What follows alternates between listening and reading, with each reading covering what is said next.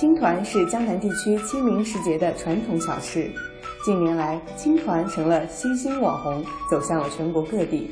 随着清明节的临近，有不少店家大胆创新，推出各种奇葩口味，龙井、蛋黄、榴莲，更有酸菜鱼、腌笃鲜等新奇口味，挑战你对美食的想象力。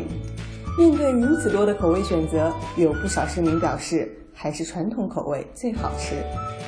吃那个呃黑芝麻的吧，我觉得甜甜的在里面就觉得很好吃啊。然后外面青团的味道还蛮浓厚的，然后里面就是那种甜而不腻的。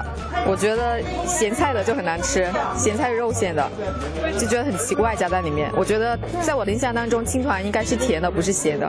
因为蛋黄只有那个做粽子是有的，但是今年好像做青团也有蛋黄了，所以说我感觉它奇葩就是，哎，还有一个黄豆的，嗯，也不怎么太好吃。青团是吃了大概有四十年了吧，随便怎么样还是老底子味道好。给忘了啥个？肉这这个叫肉松的这个青团，还有啥个是猪子里头把啥个马来头了啥个青团，还有么是啥个猪菜把猪菜了，还把啥个？还有还有啥么啦？蛮多，吃过品种蛮多。我也吃欢喜吃豆沙的。哎，最最最最经典哎！咸蛋黄的还不错哎，跟豆沙的比起来，感觉咸蛋黄更有小吃的感觉，然后豆豆沙很像甜点。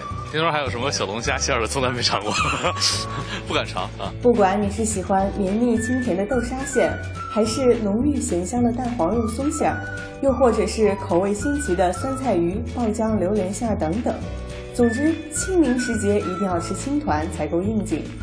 不同地区制作青团使用的原料各有不同，有的地区习惯使用艾叶、青蒿等，也有的地区用鼠曲草、麦苎草等。以福建地区常用的麦苎草为例，将晒干的麦苎草清洗过后放入锅中，用开水焯熟，随后将其捞起来，放凉后切碎，揉成团备用。然后在草团中加入适量糯米粉，加温开水反复揉搓成绿色面团。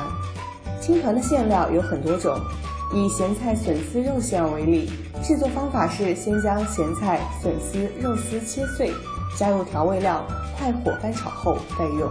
包制青团时，需要将绿色面团搓成圆剂子，在中间用大拇指按出一个坑，填入喜欢的馅料后封口，做成窝窝头状。